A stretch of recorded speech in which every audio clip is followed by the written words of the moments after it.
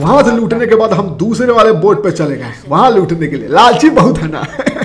खैर तो हम यहाँ पहुँच के देखे कि हमसे पहले यहाँ पर कुछ लालची लंगूर सब मंडरा रहा है। बाप रे, हमको लगा कुछ देर के लिए हम गए यहाँ पर।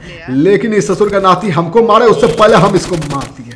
इसको मारने के बाद हमको पता चला कि ये अकेले नहीं है। नमस्कार, आज की वीडियो होने वाली है बड़ी मज़ेदार काय कि हम खेल रहे थे कुछ रैंडम लोगों के साथ और हमने उनके सामने जो इम्प्रेशन जमाया है, क्या ही बताए।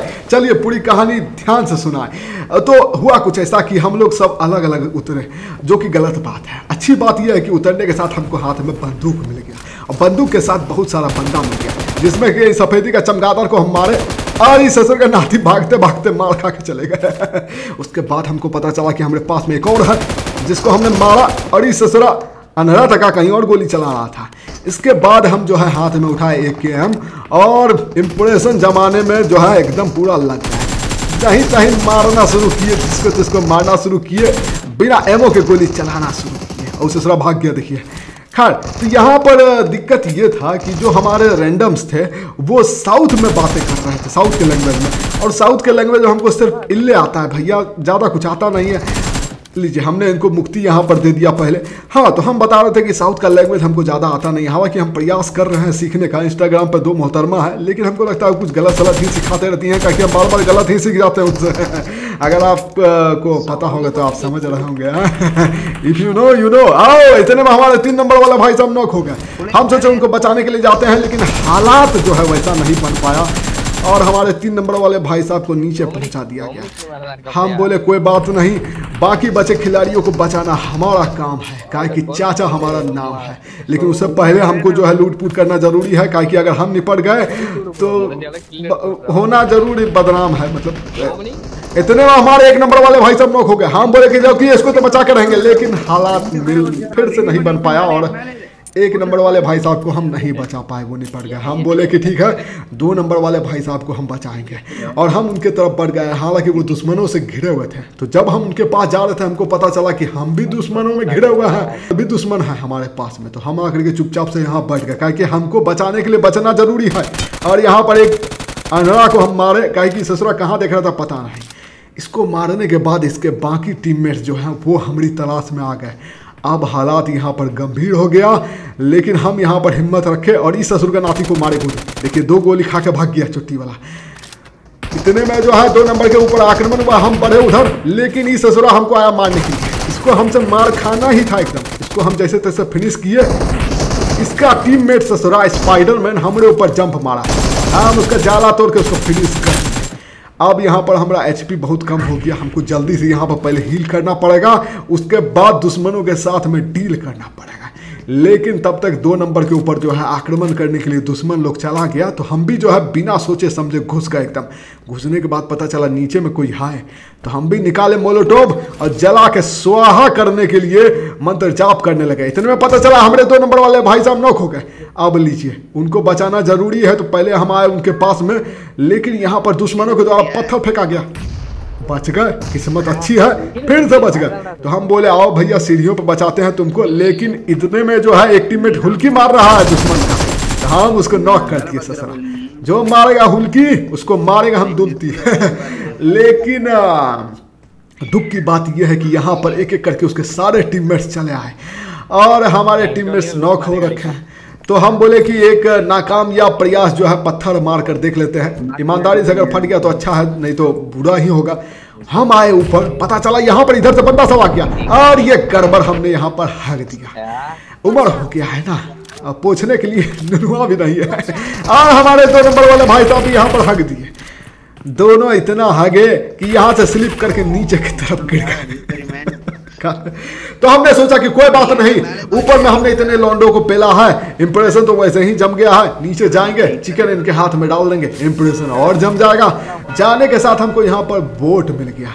बोट बोट मतलब जहाँ पर हमको लूट ऊपर तो हुआ नहीं था तो यहाँ पर लूट करने का हमको मौका मिल गया। हम भी यहाँ पर काहे छोड़ेंगे, मौका बढ़िया से लूटे, एकदम अच्छा से, है कि नहीं? तो आखिरी पड़ाव पर हमको खजाना बड़ा वाला मिल गया। वहाँ से लूटने के बाद हम दूसरे वाले बोट पे चले गए, वहाँ लूटने के लिए। लालची बहुत है ना? खैर तो हम यहाँ पहुँच के देखे कि हमसे पहले यहाँ पर कुछ लालची लंगूर सब मंडरा रहा है। बाप रे, हमको लगा कुछ देर के लिए हम गए यहाँ पर। लेकिन इस ससुर का नाती हमको मारे, उससे पहले हम इसको मार दिए। इसको मारने के बाद हमको पता चला कि ये अकेले नहीं है। इसका यहाँ पर बहुत सारा लौंडा सब है।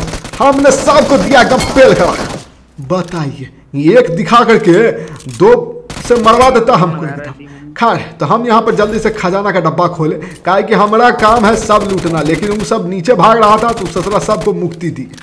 आप बारी थे यहाँ पर जल्दी से हमको हील विल करना। इतने में हमारे तीन नंबर वाले भाई साहब नौक हो गए। हम बोले ठीक है आते हैं जल्दी से चटाई निकाल करके पहले थोड़ा हील कर लेते हैं। और हमको हील करने का भी मौका नहीं मिला।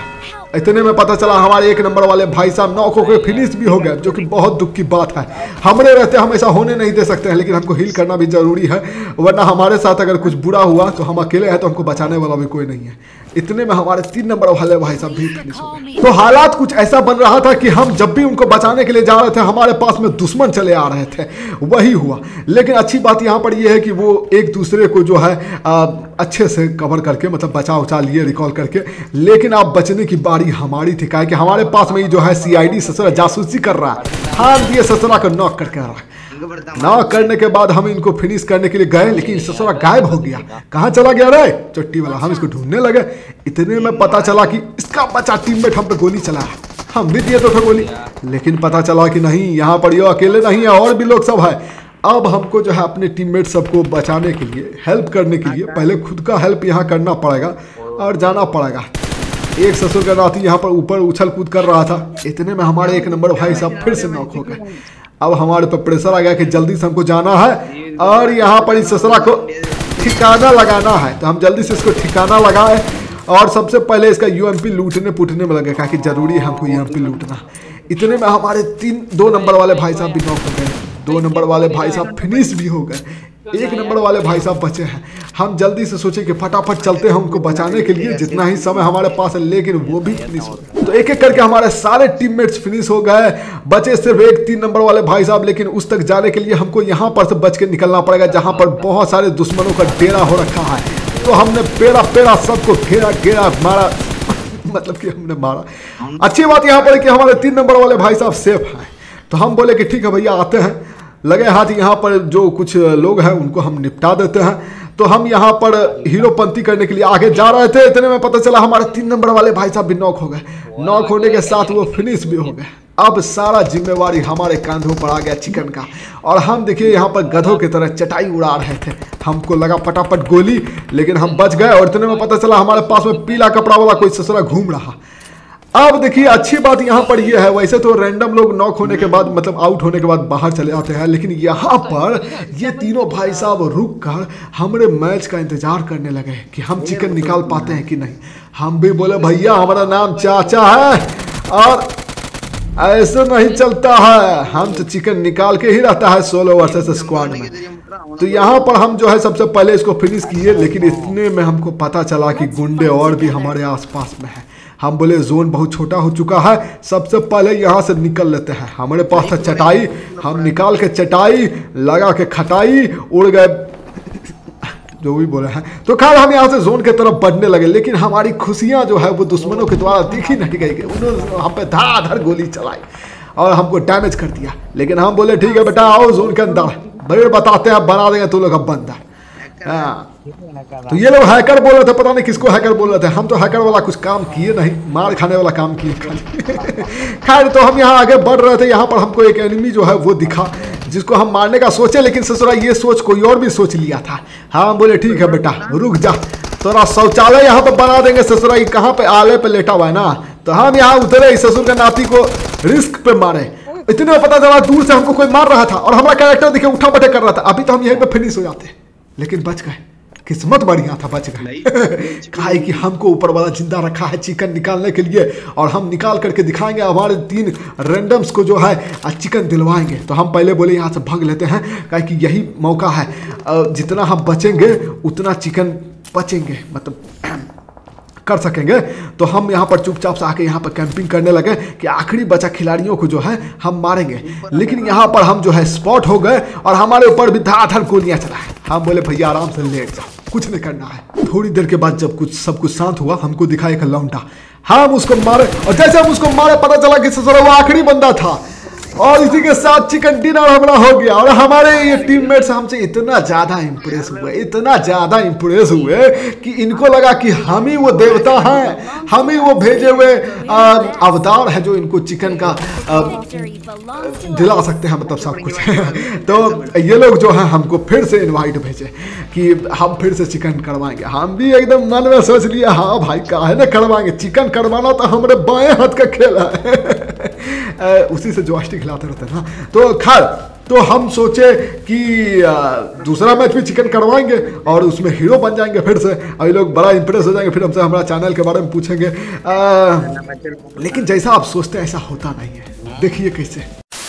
तो दूसरी बार फिर से ऐसा कुछ हुआ कि हमारे सारे टीममेट्स मर गए सिवाय दो नंबर के। और वो फिर से मुसीबत में थे और हम बिना सोचे समझे उनके तरफ़ बढ़ गए कि हम तो हीरो है ना।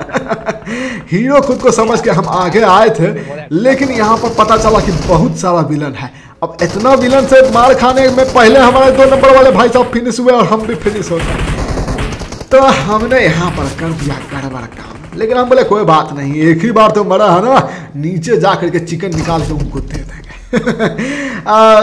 ये लोग शांत हो गए, जो कि पिछले बार बड़ा खुश हो रहे थे तो हम बोले, ठीक है, पहले हमको करना पड़ेगा लूट, उसके बाद बंदों को करना पड़ेगा कूट, फिर इन लोगों को चिकन देना पड़ेगा ठूस। मतलब इनके मुँह में। लेकिन ऐसा नहीं हुआ। देखिए कैसे। तो लूट पूट करने के बाद हमारे अंदर का हीरो जो है वो जाग गया। हम इन लोगों को सबको छोड़ करके जो है दुश्मनों की तरफ़ गाड़ी चला के आगे बढ़ गए। काय कि हम सोच लिए, हम है सलमान खान और ले लेंगे सबका प्राण। लेकिन ऐसा हुआ नहीं मेरी जान। हम पर सब गोली मार के हमको यहीं पर ढेर कर दिया। उसके बाद हमारा बहुत बुरा हाल हो गया। हमको फिनिश कर दिया। हमको बहुत दुख हुआ। फिर हम बोले कोई बात नहीं। हम इनसे जो है बेशर्मों की तरफ़ भीख मांगने लगे। रिकॉल कर दो भैया। हीरो हैं हम। आएँगे तभी तुम लोग को चिकन दिलवाएँगे। और अच्छे लोग थे हमको रिकॉल कर दिए। तो तीसरी बार हमको जो है बहुत सेफ़ खेलना था। लेकिन हम जो है यहाँ पर धीरे धीरे एक नंबर वाले भाई साहब को बचाने के लिए आगे बढ़ रहे थे। हमको पता चला कि हमारा गाड़ी का फ्यूल खत्म हो गया। और इसी बात का फ़ायदा उठा के इस ससुरा एनिमी हमको खत्म कर दिया। इतना गुस्सा उठा के हम ससुरा गेम में खत्म कर दिए कि बेजती अब हम बर्दाश्त नहीं कर सकते? हैं। उसके बाद उन लोगों का हमको रिक्वेस्ट भी नहीं आया जो कि आना भी नहीं चाहिए हम शकल भी नहीं दिखा सकते थे अपना। हालाँकि शकल तो नहीं दिखाते हैं मतलब इसमें जो भी रहे खा तो यही था। आ, उम्मीद करते हैं कि आपको ये वीडियो अच्छा लगा होगा। लाइक कीजिएगा कमेंट कीजिएगा शेयर कीजिएगा बाद बाकी हम लोग मिलते हैं अगली वीडियो में, जो कि अच्छी होगी। तब तक के लिए क्या कहते हैं बाय बाय